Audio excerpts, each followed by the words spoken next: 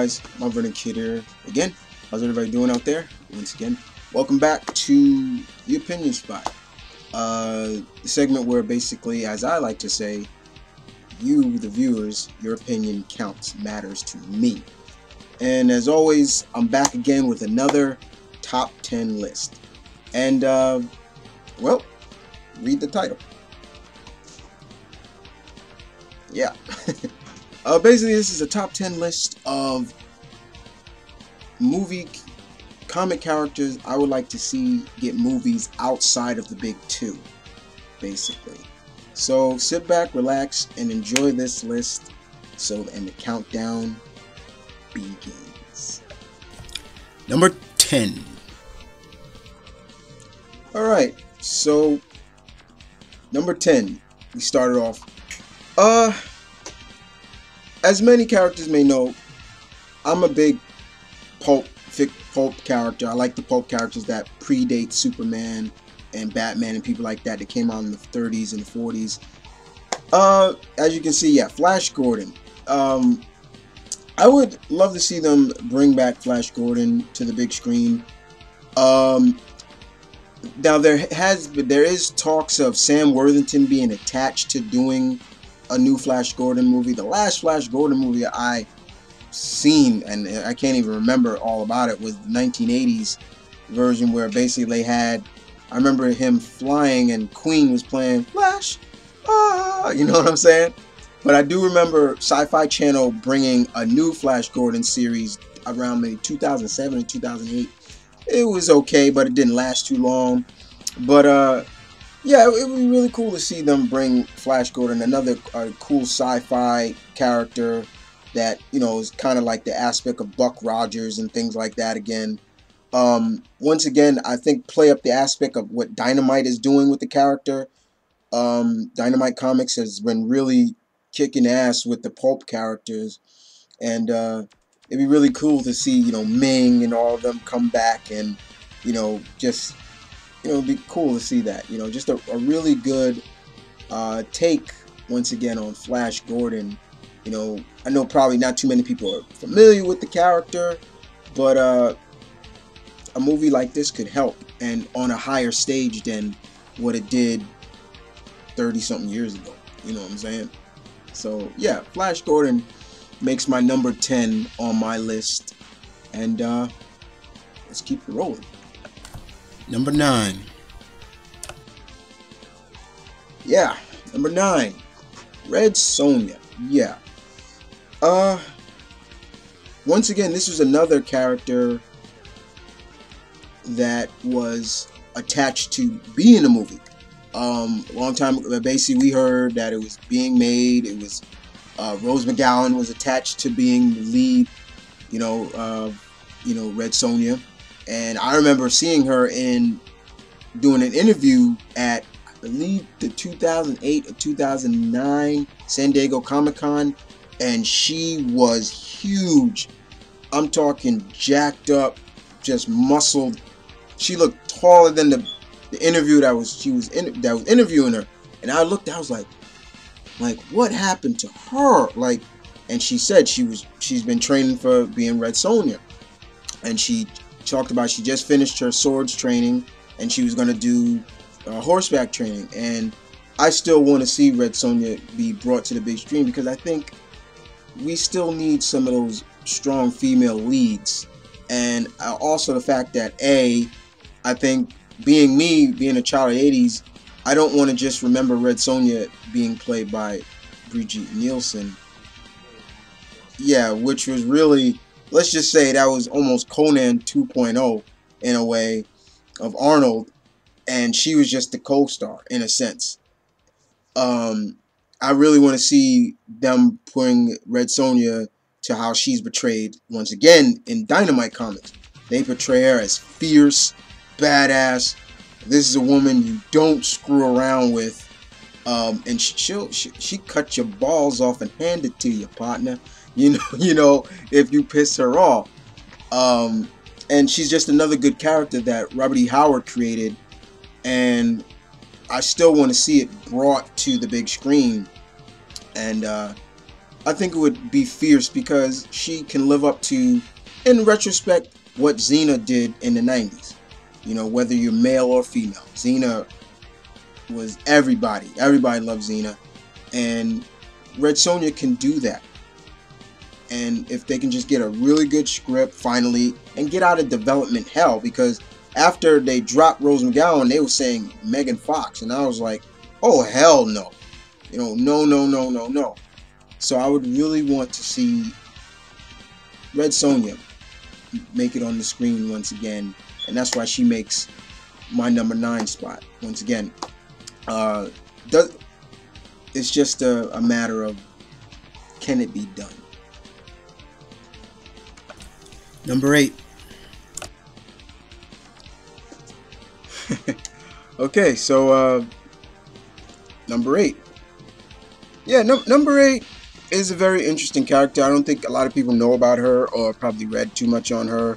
Another female character. She's from Top Cow Comics. Uh, she first appeared in The Darkness, uh, number 15. And uh, that's none other than Magdalena. I've always had respect for Magdalena. I, I, I would think that they could probably pull this off if they were to give it a chance and see the property of the character. The character is affiliated with the, the Catholic Church, and she carries the Spear of Destiny and everything like that. If they can do movies like Constantine and things like that, I don't see why they couldn't do uh, Magdalena and showcase this this girl um, with her fighting prowess and everything like that. I know they would probably like to, would probably if if so me be they would have to like upgrade her her outfit a little bit more. But I, I think the hooded look works. Um, more of the the knighted plated look that she wears in the comics and things like that. Um, she, it could be even a spin-off from the from a Darkness movie or so. You know, uh, in a sense, make her first appearance in Darkness, and then she she's she has her own spin-off. You know, uh, dealing with demons and things like that. Uh, my advice, yeah, it could be just a one-time deal. Doesn't need to be a sequel, but just a one-time movie that would just pay respects to the character and uh, show, just showcase, you know, that you know there are other characters outside of Marvel and DC. You know, like I said, Hellboy is it from Dark Horse, and he seems to have gotten over pretty well. And the Goon is supposed to be coming out with a movie, uh, so why not someone else like Magdalena. Think about that. Number seven. Yeah, number seven. Um, this one, guys, you probably know about, um, and probably big fans of. But wouldn't you like to see Savage Dragon be brought to the big screen? Eric Larks, Larkskin's character, you know, I would love to see them bring, you know, this character to the big screen. I mean, it would be really fun to see, you know, them tell the like a live action story of, you know, this giant like dragon like man who's got superhuman strength and he heals fast and he's a cop in Chicago and things like that. He has no memory of who he is or where he comes from, things like that. As and I'm, I have not done this yet in some of them, but as for seeing who can play him, that's a little harder for me. Um, but definitely, it would be really a challenge to see that being brought. And I think it would be cool. Like once again, I go back to Hellboy because they, to me, they they've gotten Hellboy over, and both of those movies to me were pretty damn good. So why not another image, uh, image character like Savage Dragon, get over and just showcase this guy. I mean, some people might look at him like, oh, he looks like he looks.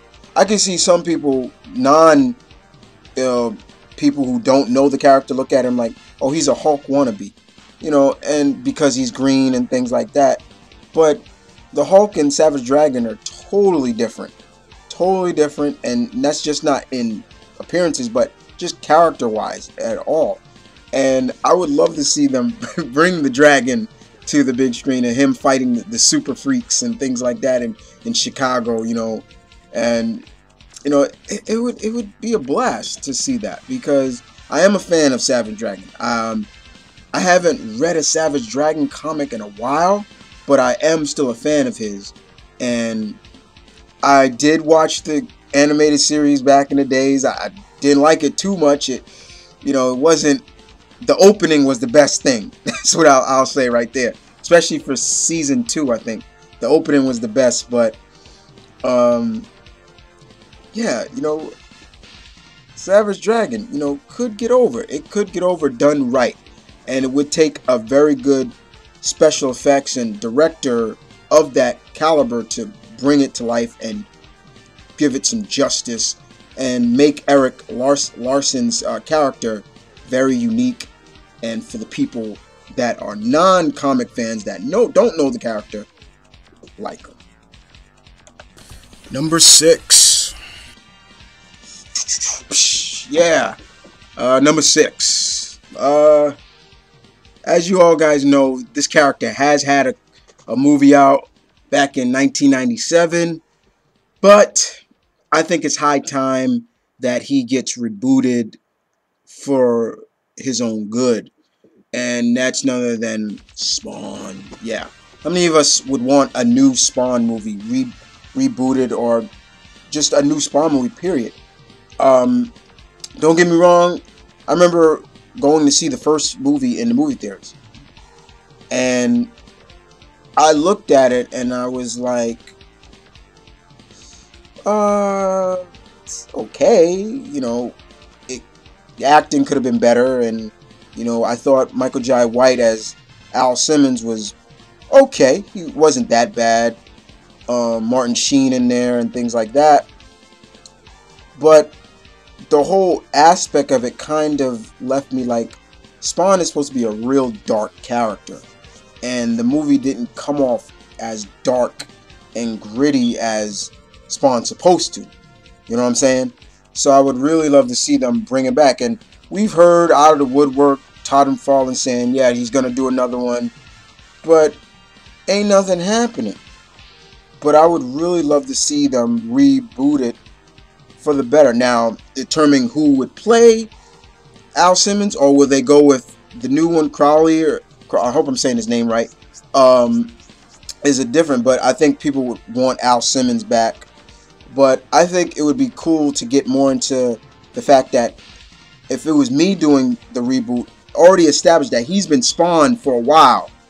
Uh, I would go that route that he don't tell the origin over, just tell that he's been spawned for a while He's um, and get more into like maybe the the angel side of things, like you know, get more in between the battle of heaven and hell, and how Spawn is trapped in the middle of it, and things like that. I mean, add more characters from his rogues gallery besides Jason Wynn.